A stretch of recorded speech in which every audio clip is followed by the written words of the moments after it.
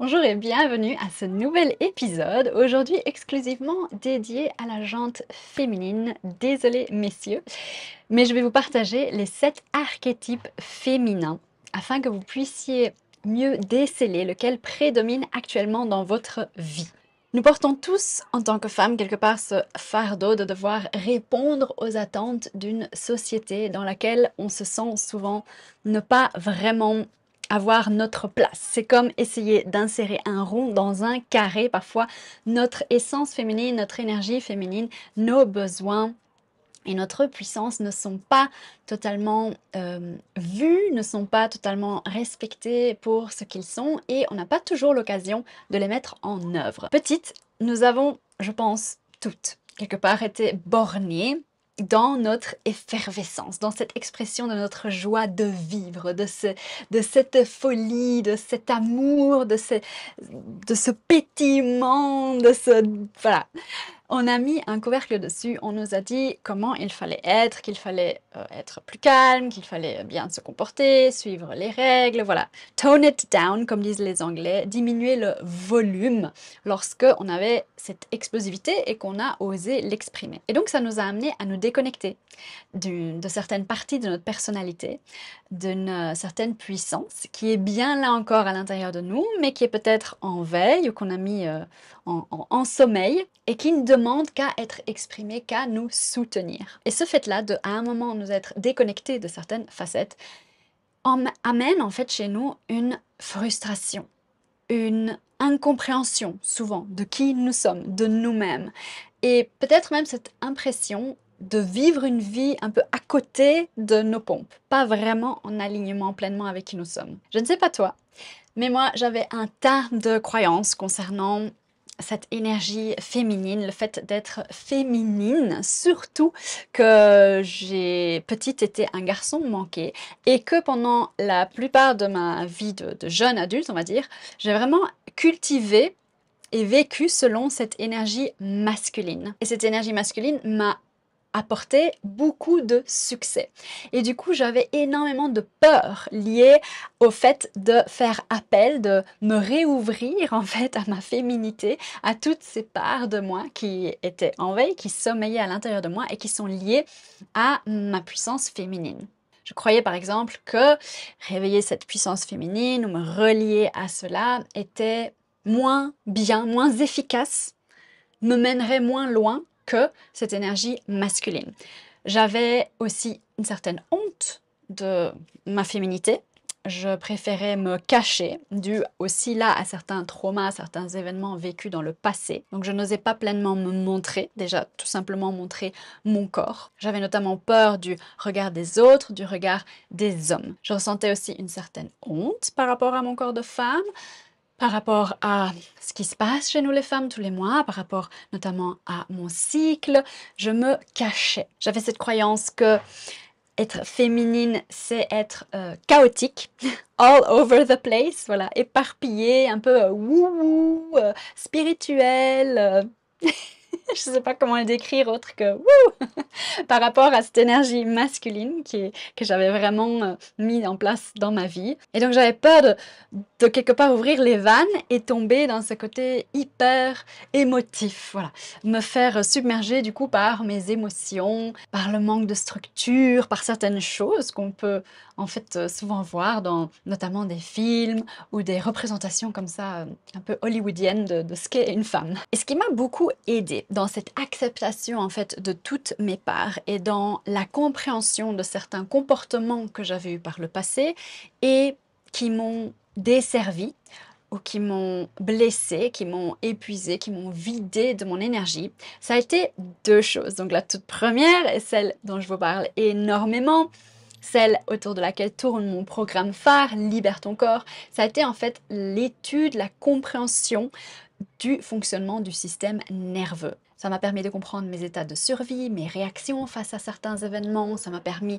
de libérer d'anciens traumas, de retrouver de la douceur, du calme, de l'apaisement dans mon corps. Et le deuxième volet que j'ai décortiqué, que j'ai petit à petit osé incarner et selon lequel je dirige actuellement ma vie et qu'aujourd'hui ici effectivement je vous partage pour la première fois, c'est celui des archétypes féminins ou en tout cas de cette énergie féminine. Parce que ça m'a permis de me rendre compte des déséquilibres énergétiques à l'intérieur de moi entre mon féminin et mon masculin. Et même donc dans ces archétypes qu'on va voir ensemble, j'avais clairement un archétype vraiment prédominant qui est celui de la guerrière et qui m'a mené vraiment à l'épuisement. Et donc essentiellement, pour moi, tout dans la vie est une recherche d'équilibre. On est tous des funambules, on essaye de ne pas tomber et de trouver notre équilibre et d'avancer petit à petit en nous respectant, en nous découvrant sur le chemin, ce qui est absolument magnifique. Et donc mon intention à travers cette vidéo et les archétypes féminins est notamment de t'aider à te découvrir un peu plus en tant que femme, à savoir placer le curseur par rapport à où tu te trouves aujourd'hui actuellement, dans quelle énergie, quel archétype prédomine chez toi et voir si éventuellement tu pourrais bénéficier du fait de, de réintégrer certaines parties d'autres archétypes pour retrouver plus d'épanouissement, plus d'expression de toi et un meilleur équilibre en général. Si tu es nouvelle sur cette chaîne, je te souhaite la bienvenue. Mon nom est Anna et à travers Harmonia, j'accompagne essentiellement les femmes à se reconnecter à elles-mêmes, à retomber amoureuses en fait à elles-mêmes en ressentant et en libérant l'intelligence innée de leur corps, leur potentiel et leur pouvoir. Si tu es prête, c'est parti.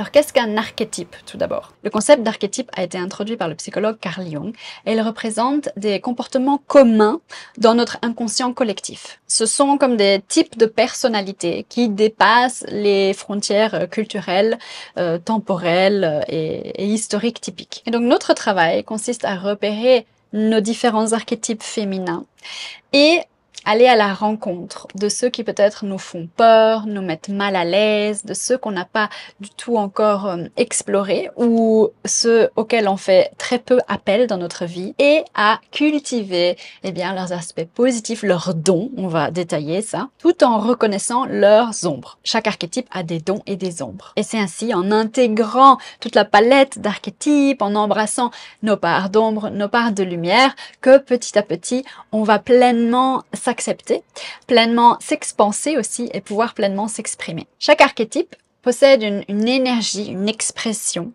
un don ou une part de lumière et une part d'ombre spécifique. Et bien que chaque archétype soit vivant en nous, on en a un qui est prédominant dans notre vie. Et c'est dans cet archétype prédominant qu'on va trouver nos plus grandes ressources, nos plus grandes forces, nos plus grandes compétences et aussi nos plus grandes blessures et nos plus grandes ombres. Il faut savoir qu'on est aussi plus enclin à explorer certains archétypes selon certaines périodes de notre vie ou selon certains âges. Et donc quand on ressent des lacunes dans notre vie, quand on se sent en déséquilibre, c'est souvent lié au fait qu'il y a un déséquilibre dans nos archétypes, qu'on est en train de vivre dans un archétype vraiment prédominant et que du coup, on ne donne pas la place, on n'accueille pas toute notre palette d'archétypes féminins. Et ce fait de canaliser un archétype en particulier pendant trop longtemps, de ne pas s'ouvrir aux autres, de ne pas laisser de la place aux autres archétypes, occasionne souvent de la frustration, de l'incompréhension et un sentiment de déconnexion. Donc personnellement, comme je disais au début, mon archétype prédominant a été pendant très très longtemps celui de la guerrière. J'étais vraiment exclusivement focalisée en mode guerrière. Je me focalisais exclusivement sur mes objectifs. Je travaillais comme une dingue. J'étais euh, perfectionniste, mm, contrôlante, prévoyante. Voilà. Le reste, j'en faisais fi parce que c'est ma ligne de conduite qui comptait. J'étais totalement absorbée par ma mission, mais en mode force, guerrière, pour retrouver un meilleur équilibre, pour me guérir de certaines blessures, pour m'ouvrir à d'autres parts de moi, j'ai petit à petit fait appel à d'autres archétypes féminins, comme par exemple la jeune fille qui aime jouer, qui aime la découverte, comme par exemple euh, l'amante qui accorde de l'importance au plaisir, etc. Donc c'est parti, si tu es prête, je t'invite à explorer les sept archétypes. Alors, parfois on parle de 13, enfin, il y en a plusieurs, il y a des, noms de qualifications différentes. Moi ici, je vais t'en parler de sept pour euh, simplifier et parce que moi, selon mon expérience, je trouve que c'est clair comme ça et qu'il n'y a pas besoin de démultiplier autant. L'archétype de la jeune fille. Quels sont ses traits principaux? La jeune fille est innocente, la jeune fille est idéaliste et la jeune fille est intuitive. Son don,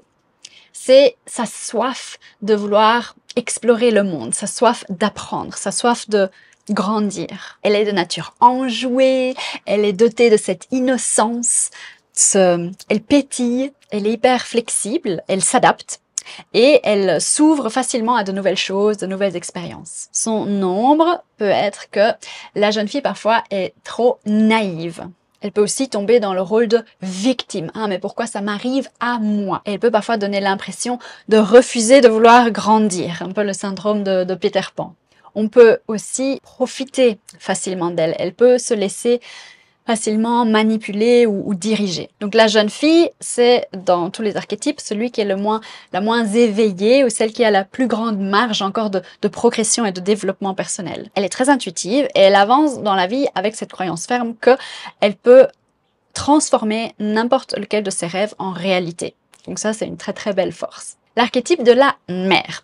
Ses traits principaux, c'est qu'elle est nourricière. Elle a beaucoup de compassion. Elle est très très centrée sur le cœur. Son don, c'est celui de, c'est l'image de la mère qui aime inconditionnellement, qui se donne inconditionnellement, qui est attentionnée, solidaire, empathique, loyale et compatissante. Sa part d'ombre est que elle peut faire passer les besoins de tous les autres avant ses propres besoins. Et du coup, qu'elle se néglige et qu'elle oublie de prendre soin d'elle-même. Elle peut aussi avoir ce côté martyr. Je donne, je donne, je donne, mais moi, personne ne m'apprécie.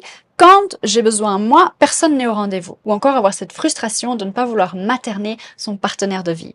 Mais attention, c'est nous qui co-créons cette réalité en étant dans cet archétype de la mère. À savoir que cet archétype de la mère ne signifie pas qu'on doit avoir des enfants pour être dans cet archétype. Donc la mère peut de manière générale faire preuve d'une grande attention à l'égard de tous ceux qui l'entourent et trouver de la satisfaction à s'occuper des autres. C'est sa nature chaleureuse et son, son énergie généreuse qui offre aux autres cet espace dans lequel ils se sentent bien, dans lequel ils se sentent en sécurité et dans lequel les autres peuvent s'épanouir. L'archétype de la reine. Ses traits de caractère sont qu'elle est ambitieuse, elle est extravertie et elle est confiante. Donc son don à la reine, c'est cette confiance en elle, c'est cette loyauté, c'est son ambition dans la vie et c'est sa capacité à prendre les choses en main, à diriger. la reine, c'est vraiment l'archétype par excellence du leadership féminin. Sa part d'ombre, c'est qu'elle peut devenir jalouse et contrôlante quand elle ne se sent pas en sécurité quand les choses ne vont pas comme prévu. Ce qui est très précieux pour la reine, c'est de créer des relations durables, de créer une communauté, de choyer cette communauté et ses relations. La reine connaît et apprécie aussi les belles choses de la vie. Et elle est très puissante en amour parce qu'elle connaît et reconnaît sa propre valeur. Elle reconnaît ce qu'elle mérite. Elle est dévouée à un but et à une vocation plus plus grande qu'elle, à une, à une mission qui la, qui la dépasse. La reine a vraiment alchimisé ses batailles du passé, ses blessures, ses, ses traumas pour passer de la douleur à la puissance personnelle. L'archétype de la mystique. Ses principaux traits de caractère sont lesquels est introvertie, calme et tournée vers l'intérieur, vers son monde intérieur, dans l'intériorité. Son plus grand don, c'est qu'elle a vraiment comme une aura de paix et de tranquillité qui apaise tous ceux qui viennent à son contact et qu'elle est très consciente d'elle-même. Ce qui peut faire par contre que son ombre et sa tendance à s'isoler, ce qui rend parfois difficile la création de relations profondes, sérieuses, durables. Donc la mystique, elle est vraiment plus à l'aise en solitude et dans le calme, en retrait. Elle est spirituelle, elle est en recherche d'harmonie et elle aide ainsi les autres à rester équilibrés dans leur vie grâce à cette recherche d'harmonie dans sa vie à elle. La sage. Ses caractéristiques principales sont sa sagesse, sa perspicacité et sa logique. Son don, c'est qu'elle est, voilà, dans cette sagesse, elle dit la vérité, elle se concentre sur son développement personnel. Son ombre est qu'elle peut faire preuve d'un manque d'empathie envers les autres et qu'elle peut avoir du mal à rester dans l'instant présent. Elle est très intelligente, elle est stratégique, elle prépare toujours son prochain coup, elle est disciplinée, elle est centrée, elle est prête aussi à se débarrasser d'anciennes versions d'elle-même, à faire ce travail sur soi de développement personnel et elle est dévouée à cette amélioration constante d'elle-même. L'amante. L'amante est enjouée, elle est amusante, c'est gai d'être euh, à son contact, elle est aussi émotive, elle est spontanée. Le don de l'amante, c'est qu'elle est magnétique, elle sait comment attirer. Elle a confiance en elle, elle crée sa propre réalité, elle nous invite à profiter de la vie et à nous adoucir. Elle amène de la magie, de la spontanéité, de la légèreté, de l'amusement. Elle nous invite à nous abandonner au masculin, à lâcher prise. Son ombre, c'est qu'elle recherche une validation extérieure et qu'elle peut avoir du mal à s'engager. Elle peut aussi être très émotive. L'amante est captivante, elle est sensuelle, elle sait attirer l'attention à elle. Elle change tous ceux avec qui elle entre en contact et elle s'écrit des liens très intenses. Et last but not least, la guerrière, dans laquelle j'ai passé la plupart de ma vie de jeune adulte. De quoi est-ce qu'il s'agit? Ces traits de caractère principaux sont l'autonomie, l'indépendance et la liberté d'esprit. Donc je vais passer un peu plus de temps sur cet archétype, le détailler un peu plus parce que je pense que nous sommes énormément à l'avoir comme archétype prédominant. Donc la guerrière affronte tous les défis sans broncher. Elle se fraye un chemin dans ce monde, elle est courageuse, elle est déterminée, elle est fonceuse. Elle nous donne la force d'affronter nos peurs, nos traumatismes, nos parts d'ombre. Elle nous aide aussi à être claire, à être assertive, à être décisive, à être honnête, à être responsable et à être courageuse. La guerrière est autosuffisante. Elle n'a besoin de personne. Sa vie va très bien ainsi. Elle sait qu'elle peut compter sur elle-même. Sa part d'ombre, c'est qu'elle peut avoir du mal à entrer en contact avec ses émotions, à accepter et à vivre ses émotions, à se montrer vulnérable parce que cette part masculine peut l'empêcher d'être dans son féminin, dans sa vulnérabilité, dans sa douceur. Ce qui la rend en fait hypersensible sur le plan émotionnel, même si ça ne se voit pas de l'extérieur. Mais il y a comme un masque, il y a comme une façade, elle se protège. La guerrière a tendance à s'abandonner, elle a du mal à rester fidèle à elle-même, elle a aussi tendance à être beaucoup dans l'ego, à être euh, têtue et du coup à oublier sa vérité. Elle peut être intimidante, elle euh, a tendance à critiquer, à juger les autres. Elle peut être prompte à la colère, elle peut être autoritaire, elle peut sembler hautaine et du coup ça peut faire qu'elle tient les autres à distance émotionnelle. Elle s'orientera en général vers des professions qui lui permettent d'être justement, justement dans cette autosuffisance, d'être indépendante et de n'avoir à rendre des comptes à personne. Ça, typiquement, je ne l'avais pas compris et ça ne fait que 4-5 ans que je suis à mon compte et avant c'était un point qui me faisait énormément souffrir. Le fait de devoir rendre des comptes et de devoir exécuter des choses avec lesquelles je n'étais pas d'accord. Les femmes qui sont fortement dans cet archétype féminin de la guerrière ont tendance à développer une relation très forte avec leur propre masculin intérieur plutôt que d'être dans la recherche d'une relation amoureuse avec un masculin extérieur pour se sentir épanoui. Notre guerrière intérieure peut nous aider à fixer et à respecter nos limites parce qu'elle ne supporte pas qu'on la rabaisse, qu'on lui manque de confiance, qu'on manque à ses proches, qu'on l'humilie, qu'il y a une injustice, qu'on essaye de la soumettre. Et donc moi typiquement j'ai toujours été hyper justicière et j'ai toujours arrêté toute collaboration dès que cette valeur de la justice était bafouée. Nous sommes arrivés à la fin de nos sept archétypes féminins. Maintenant, ma question pour toi, c'est dans lequel de ces archétypes même si je les ai décrits, sauf celui de la guerrière peut-être, mais de manière très très sommaire. Mais est-ce qu'il y a un archétype en particulier dans lequel tu te reconnais actuellement en tout cas? Est-ce qu'il y a un archétype qui prédomine chez toi? Est-ce que tu t'es reconnu dans ces parts d'ombre et dans ces parts de lumière? Encore une fois, ce que ça nous aide, c'est à identifier ce qui éventuellement dans notre vie actuelle peut nous causer un sentiment de frustration, peut nous causer un sentiment de manque, de déséquilibre, de ne pas être pleinement épanoui, de ne pas être pleinement nous-mêmes. Donc je t'invite à me partager ça ci-dessous, à me dire ce que tu en as pensé, à me dire aussi éventuellement si tu étais déjà au courant de ces archétypes et en quoi ils accompagnent ta vie actuellement.